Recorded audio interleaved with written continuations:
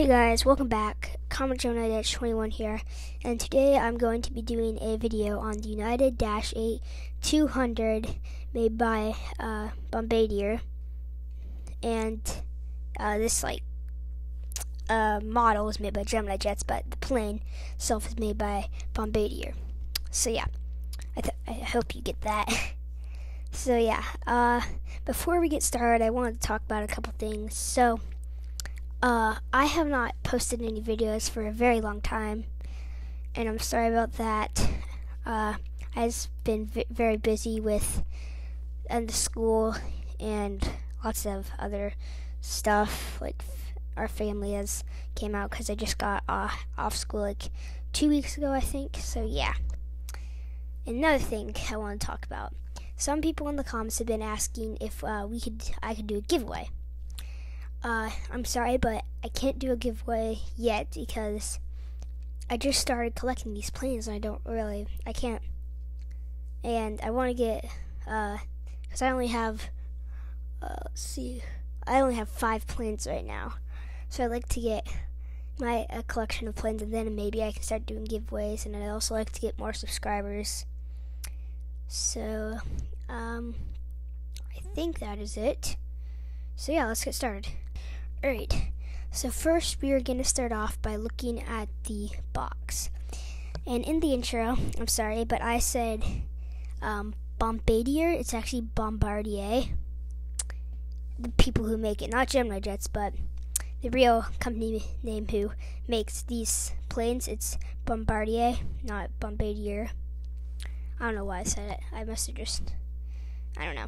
Alright, so first let's start off by looking at the box. So, right here, you can see that it has uh, some information about it. it. Has rolling tires, and you can read that. So, yeah. Front, that looks pretty nice. Has uh, one 400 scale diecast model aircraft down here. It has a picture of the plane, the name of the plane, uh, what airline, and then Jets up here made for collectors by collectors. So yeah, let's look at this side of the box. Again, it has the plane right here, Gemini Jets, Bombardier, Bombardier, wait, Bombardier. There we go, I got it right. And then one for diecast scale model, and then whatever item number. And then Gemini Jets barcode, and then adult collectible model, and contains small parts and then same thing on this side for these two are the same side. Alright.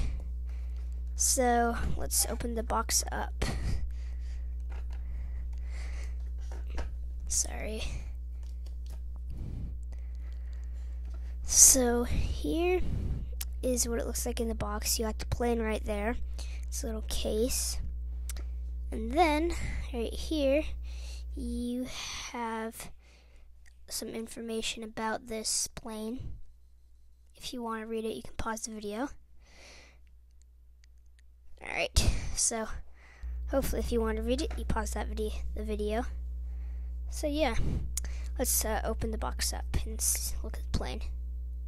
Alright, so here is the uh, little case, you could call it that it's held in. Is just made out of plastic and the plane's in here. So we'll take the plane out. I don't know why, but this wants to stay on. So there we go. I got it off. So let's take the plane out. And the plane is very, it is pretty small. Because this is a 1 400 scale model. So it has to be measured up to like it can't be like the same size as one of the A320 models because then it's not real. So yeah, I have to zoom in on this one. Let's hope it focuses and you can get a good view of it. So yeah, uh, let's start off with uh, the wing and the propellers slash engines. So the propellers they do spin. Both sides propellers do spin. And let's see. uh, you have the white marks on the uh, tips of the propellers. And then you have the engine, then you have this the exhaust pipes. And then you also right here you have the uh, flap fairings right here, right here, right here, and right here. I'm trying to get to focus and I'm trying to get to zoom in at the same time. Come on, focus. Alright, I'm kind of focused. And then, and then, it doesn't have much design on the wings, but it's pretty small, uh, plane or size, so it's kind of hard. Now let's look at the uh, side of the plane. So, right here, we have the identification code November 365 PH. I don't know. I forgot what P is and H is. I just know N is November. And all planes that are registered American planes have N sitting at their identification code. Fun fact. So, yeah. And then we have right here the American flag. I'll try to get that to focus. Oh, there we go. I think it focused, kind of. So we have the American flag right here. Tail, the uh, United. Is that Continental? I think that's United. I don't know. So yeah, you have the uh, whatever the logo right here, and then down here you have United Express. And then we have a little number right here. And then we have some design. And yeah, and then we have windows, door. And that is all for the right side. Left side looks the same. Same thing on that side. But the right side uh does have the little cargo door right here. Right there. So yeah. And I think that's all for the sides today. Over. And then uh the front you have uh the cockpit nose windshield wipers wipers and then the horizontal stabilizers. So, yeah. Back of the plane it doesn't have much, doesn't have the APU exhaust pipe back there. Hit, but it's too small to put on there. Alright, so now let's look at the underside.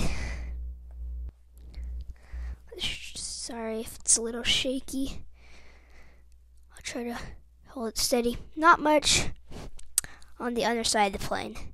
It does have the uh, gear right here, right here, and right here. And then you have Gemini Jets logo. This is where if you want to put it on a stand, that's where you would put it.